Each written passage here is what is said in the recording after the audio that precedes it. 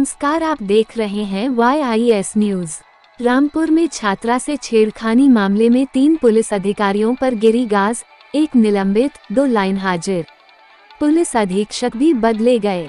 रामपुर के मिलक क्षेत्र में तेरह साल की एक छात्रा का स्कूल से घर जाते समय अपहरण कर दबंगों ने उसके साथ छेड़खानी की थी। इस मामले में पुलिस पर लापरवाही बरतने के आरोप हैं। उत्तर प्रदेश के रामपुर में एक स्कूली छात्रा के अपहरण और छेड़छाड़ के मामले में तीन पुलिस अधिकारियों पर कार्रवाई हुई है। इन पर मामले में लापरवाही बरतने और पीड़ित परिवार पर आरोपियों से समझौता कर लेने का दबाव बनाने का आरोप है। रामपुर के मिलक के क्षेत्राधिकारी संगम कुमार और कोतवाली के प्रभारी इंस्पेक्टर अजय पाल को लाइन हाजिर कर दिया गया है। साथ ही पीड़ित परिवार से बदसलूकी करने के आरोप में चौकी इंचार्ज दारोगा अशोक कुमार को निलंबित कर दिया गया है। इन तीनों पुलिस अधिकारियों को उनके पद से हटा दिया गया है। जबकि शासन द्वारा रामपुर के पुलिस अधीक्षक का भी ट्रांसफ़र कर दिया गया है और राजेश द्विवेदी को रामपुर का नया पुलिस अधीक्षक बनाया गया है। मामला रामपुर की मिलक कोतवाली इलाके का है, जहाँ तेरह साल की एक स्कूली छात्रा का स्कूल से घर जाते समय अपहरण कर दबंगों ने उसके साथ छेड़खानी की। पुलिस ने पीड़ित की शिकायत पर दो युवकों के खिलाफ अपहरण और छेड़छाड़ का मुकदमा दर्ज कर एक को गिरफ़्तार कर लिया था। लेकिन, पुलिस पर आरोप है कि इलाके के चौकी इंचार्ज ने पीड़ित छात्रा के घर जाकर परिजनों के साथ बदसलूकी की और आरोपियों से समझौता कर लेने के लिए दबाव बनाया। इतना ही नहीं, पीड़ित छात्रा की माँ का आरोप है कि दरोगा ने उनके साथ मारपीट और गाली गलौज भी की, उनको अपमानित किया गया। छात्रा के साथ छेड़छाड़ करने वाले दोनों आरोपी दूसरे समुदाय के हैं और पुलिस आरोपियों को पकड़ने की बजाय पीड़ित परिवार पर ही दबाव बना रही है और उन्हें अपमानित कर रही है। जब इलाके के लोगों को पीड़ित परिवार ने यह बात बताई तो स्कूल की छात्राएँ और स्थानीय निवासी कोतवाली पहुँच गए और घेराव कर पुलिस के खिलाफ नारेबाजी शुरू कर दी। कई घंटे चले इस विरोध प्रदर्शन की जानकारी जैसे ही मंडल के आला अधिकारियों को हुई तो उन्होंने कार्रवाई करते देर नहीं लगाए और तुरंत लापरवाही बरतने के आरोप में सीओ मिलक और कोतवाली के प्रभारी इंस्पेक्टर को लाइन हाजिर कर दिया गया। साथ ही बदसलूकी करने वाले दारोगा को निलंबित कर तीनों पुलिस अधिकारियों के खिलाफ विभागीय जाँच के आदेश दे दिए गए। तीन पुलिस अधिकारियों पर कार्रवाई होने के बाद आक्रोशित छात्राओं और इलाके के लोगों ने कोतवाली मिलक से अपना धरना समाप्त किया।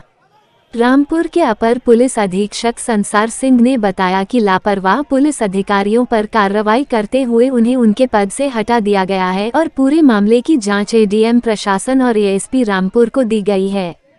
अपर पुलिस अधीक्षक ने बताया कि पूरे मामले की जाँच कर तथ्यों के आधार पर आगे की कानूनी कार्रवाई की जाएगी।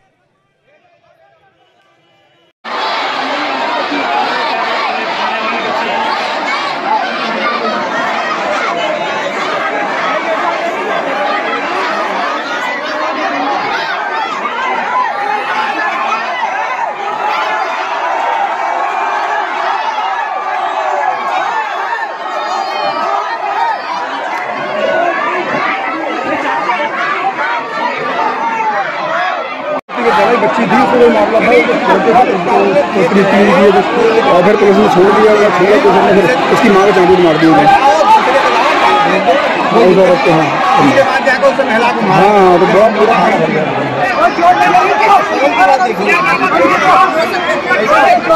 बुरा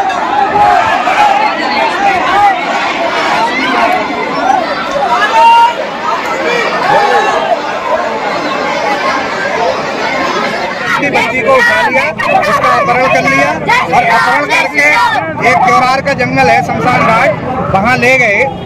वहाँ जब उस लड़की ने शोर मचाया तो गाँव के आसपास के लोग आ गए और उसे एक लड़के को पकड़ लिया, एक भाग गया। उसके बाद पुलिस पहुँच गई वहाँ, बजरंग दल के हमारे कार्यकर्ता विश्वंदर के कार्यकर्ता पहुँच गए। उस लड़के को पकड़ के पुलिस यहाँ ले आई। हमने ला थाने में दे दिया और कहा कि उसको, उसके खिलाफ एफआईआर लिखो, उनको जेल भेजो। तो उन्होंने उस दूसरे लड़के को ना पकड़ के, जो लड़की हमारे विद्यालय की थी, उसको उन्होंने वहाँ, उसके घर जाकर उसको टॉर्चर किया, उसके माँ बाप को टॉर्चर किया, उसके पिताजी के को भी टॉर्चर किया उसकी माँ के साथ उन्होंने हाथापाई की उसके झापड़ मारे। इसलिए फिर हमने आज थाने में ये धरना दिया। अच्छा सैकड़ों की तादाद में छात्र छात्राएँ या बच्चे स्कूल के मौजूद थे। अब पुलिस प्रशासन से आपने बात की क्या आश्वासन हाँ पुलिस प्रशासन से आश्वासन मिला उस पर एफ़ आई आर होगी इसके जो अशोक का अशोक कुमार। था अशोक कुमार उसको एफ़ आई आर होगी उसके खिलाफ। और ये जो एस एच ओ है इसको हटाया जाएगा। सीओ के यहाँ से हटाया जाएगा। सीओ का ट्रांसफ़र होगा। आप आप आश्वासन से संतुष्ट हैं? हाँ हम आश्वासन मान गए हमारी जो टीम थी उन्होंने मांगे मान आश्वासन ली। दे दिया और तीनों मांगे मान ली गई। इसलिए हमने धरना समाप्त कर क्या नाम है आपका? मेरा आनंद पालसी प्रधानाचार्य हूँ। कौन से सरस्वती विद्या मंदिर। मिला। मिला। क्या हुआ आपके साथ? हमारे साथ दरोगा जी ने जाकर क्यों? कह रहे थे कि फैसला करना। कौन सा फैसला? अच्छा। हाँ। हमने हम फैसला क्यों करेंगे? तो खाने चलो हमारे साथ बैठ के हम तुम्हारे साथ क्यों जाएँगे बैठ के? तभी फिर मारपीट की। लड़की को भी धक्का दे दिया। लड़की ने कहा हमारी मम्मी को क्यों मार रहे हैं? मारने का तो अधिकार नहीं है आपको। आपको मारा भी? हाँ। दो तीन चांटे मारे और कपड़े उपड़े भी फट गए और बदल कर आई हूँ मैं ये। क्या नाम है का अशोक कुमार। आपकी बेटी की उम्र कितनी है? अब थाने पर आपने आगे क्या किया?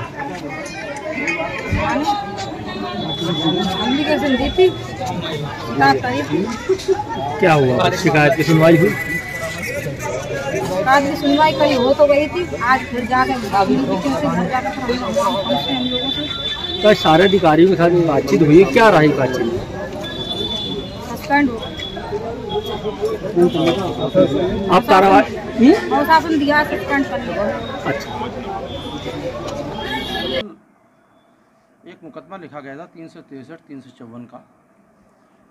प्रकरण ये था कि एक अ, लड़की बच्ची जो है जो कक्षा नौ में पढ़ती है तो वो दो लड़कों के साथ इधर नदी के किनारे दिखाई दी थी। उनमें से जो लड़के उसे ले गए थे बहला फुसला कर तो उनके खिलाफ तीन सौ तिरसठ तीन चौवन का मुकदमा लिखा गया था उसमें से एक लड़की को गिरफ़्तार कर लिया था। जो फिर आज जो वादिया है उसने ये आरोप लगाया कि जो हल्के के दरोगा हैं वो उनके घर पर पहुँचे और अ, उनके साथ मारपीट की।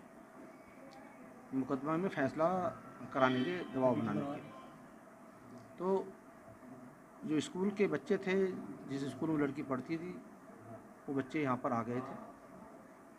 इसमें जो मैं और एडीएम साहब इस प्रकरण की जाँच करेंगे और जो प्रशासनिक कार्रवाई वो कर दी गई है।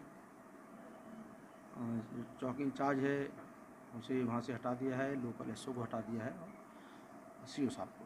हटा दिया है यहाँ से इसमें चौकी इंचार्ज सीओ साहब और कोतवाल साहब तीनों को हटा दिया? हाँ तीनों को हटा दिया गया है यहाँ से। तो अब जाँच चलेगी हाँ मैं और एडीएम साहब ज्वाइंट जाँच करेंगे इसकी। और जो भी होगा सत्यता के आधार पर अगर ये मारपीट की घटना पाई जाती है महिला के साथ तो इसको फिर मुकदमा पंजीत किया जाए दरोगा जी के खिलाफ। तो इसमें किसी को सस्पेंड तो नहीं किया? अन्य चौक इंचार्ज को अभी सस्पेंड कर दिया है लेकिन मुकदमा जाँच के बाद लिखा जाएगा क्या बच्चे ने रोड भी जाम कर दिया था सर? हाँ बच्चे स्कूल के बच्चे है वो आ गए थे यहाँ। तो सड़क अपने आप नेचुरल ब्लॉक हो जाती तो उनको सीओ साहब को कोतवाल साहब को हटाया है? है चौकी इंचार्ज साहब को सस्पेंड किया? जी।